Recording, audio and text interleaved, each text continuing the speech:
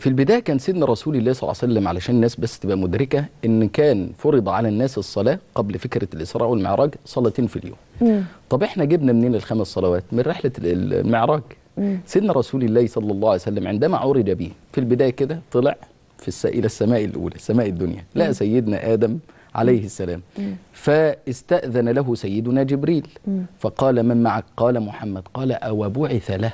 ده عنده خبر ان سيدنا النبي صلى الله عليه وسلم سيبعث له. فقال نعم فدخل عليه سيدنا رسول الله صلى الله عليه وسلم. فسيدنا آدم بقى الترحيب أهلا بالعبد الصالح وبالابن الصالح بالنبي الصالح. فرحب به. ثم بعد ذلك في السماء ديت شاف سيدنا النبي صلى الله عليه وسلم حاجة غريبة جدا. شاف إن على اليمين هذا الرجل قبل بقى ما يقول له هذا آدم عليه السلام شاف إن هو لما بينظر إلى يمينه بيبتسم. وإلى يساره فيبكي. فقال لما يبكي؟ الراجل ده بيبكي من هذا يا جبريل؟ قال هذا آدم أبوك آدم. ولذلك هو قال له أهلا بالابن الصالح. وهو يعرفه صلى الله عليه وعلى آله وصحبه وسلم. فاللي على اليمين دول مين أهل الجنة. وعلى ال- واللي على الشمال دول أهل النار. ثم عرج به إلى السماء الثانية. قابل مين قابل سيدنا عيسى.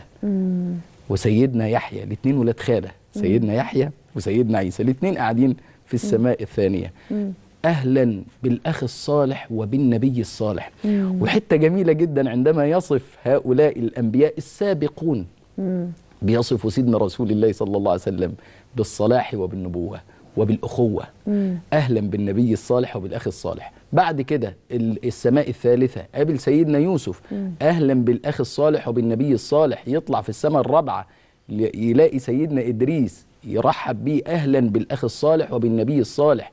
في السماء الرابعة ده مصداق لقول الله في سيدنا إدريس ورفعناه مكانا عليا.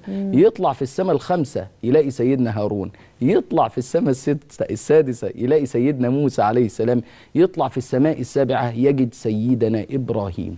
وسيدنا إبراهيم لما سيدنا النبي صلى الله عليه وسلم شافه خليل الله. قال له أهلا بالابن الصالح. وبالنبي الصالح.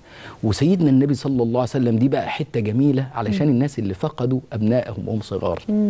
كل واحد ربنا سبحانه وتعالى اختار أن يقبض ولده ابنه أو بنته وهي صغيرة. وجد أن سيدنا إبراهيم يلاعب اطفالا الله. حوله.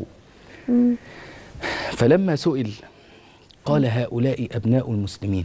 دول اللي هم قبضوا في سن صغير. مع مين؟ مع سيدنا خليل الله إبراهيم الله. في السماء السابعة.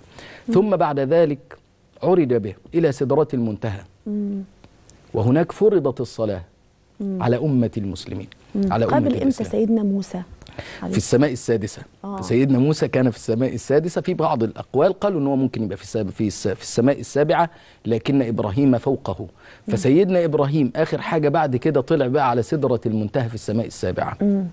وهو ده اللي إحنا فسرناه في البداية فكرة المعراج نفسه في حد آه، ذاته. آه. طيب عندها جنة المأوى إذ يغشى السدرة ما يغشى ما زاغ البصر وما طغى. وهنا فرضت الصلاة على أمة رسول الله صلى الله عليه وسلم خمسين صلاة في اليوم والليلة.